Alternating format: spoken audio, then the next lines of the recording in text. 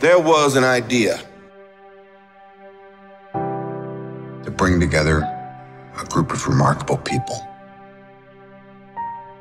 To see if we could become something more. So when they needed us, we could fight the battles. That they never could.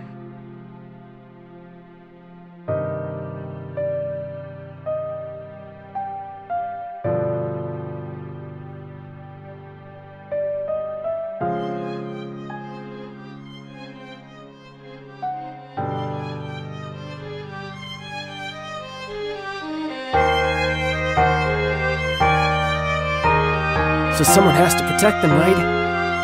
If you make a promise, you keep it. If you make a mistake, you apologize. And if you give someone a dream, you defend it to the end. Pale flame, lay waste to frozen shell and witness my suffering. Who dares call me a witch? Come, put up a fight. Tsaritsa's dream is the noblest and purest thing in all the world.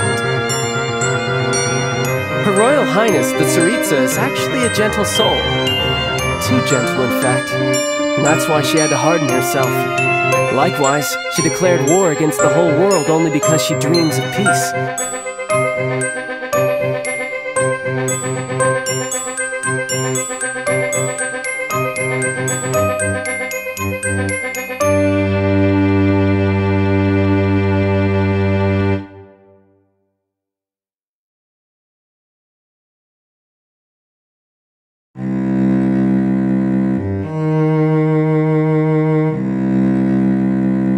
The stars, the sky, it's all a gigantic hoax. A lie.